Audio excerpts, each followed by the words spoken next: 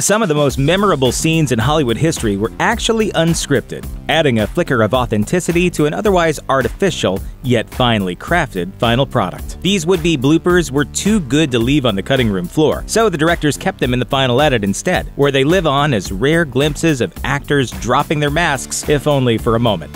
Django Unchained one of Django's chief aims in this 2012 Western is to free his wife from the clutches of terrifyingly crazed slave owner Calvin Candie. The meeting between Jamie Foxx's Django and Leonardo DiCaprio's Calvin is extremely tense, and for dramatic effect, DiCaprio slams his hand on a table and right onto a glass. Hey, lay your palms flat on that tabletop!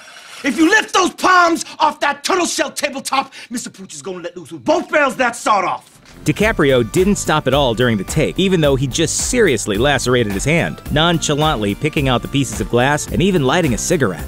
Blade Runner. Daryl Hannah took home a souvenir from the set of Blade Runner in the form of a scar on her arm, and the take in which she injured it making its way into the movie. While playing a replicant named Pris, Hannah ran from William Sanderson's genetic designer J.F. Sebastian and slipped onto the wet pavement.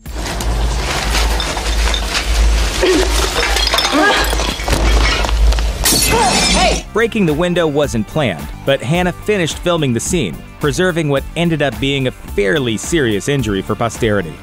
The Hateful Eight for her role as the manipulative outlaw Daisy in Quentin Tarantino's The Hateful Eight, Jennifer Jason Leigh had to know how to play a little guitar. She learned on a vintage 19th century Martin, on loan to the production from the Martin Guitar Museum. In one scene, Leigh's co-star Kurt Russell was supposed to yank the instrument out of her hands and smash it to smithereens, but the cameras were supposed to cut first so it could be swapped out for an ordinary guitar. Music time's over. But the cut didn't come, and Russell unknowingly destroyed the antique Martin, valued at $40,000. So Leigh's reaction is the real thing. True Lies James Cameron's 1994 spy comedy contains some of the biggest and most expensive sequences in movie history, but the one scene from True Lies everybody remembers two decades later is Jamie Lee Curtis's striptease. Her character, Helen, takes off her clothes for a man she believes to be an arms dealer, but is actually her husband, Harry, played by Arnold Schwarzenegger. Curtis's sexy moment is interrupted briefly when she loses her balance. It's a perfect pratfall with impeccable comic timing, but it wasn't in Cameron's script. Curtis didn't want to do the scene the way it was scripted, which called for her to get completely naked and filmed in silhouette. Cameron agreed to her changes, and they worked out the choreography without Schwarzenegger's knowledge. So that's a genuine reaction from Schwarzenegger, who thought the fall would ultimately just end up as a blooper.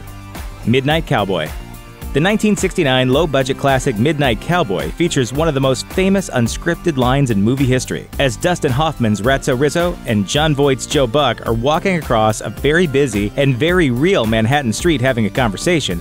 A cab nearly hits Hoffman. Hey! I'm walking here! I'm walking here! Hoffman's response was so perfectly in character that director John Schlesinger kept it in the film, which went on to win Best Picture at the Academy Awards. Annie Hall.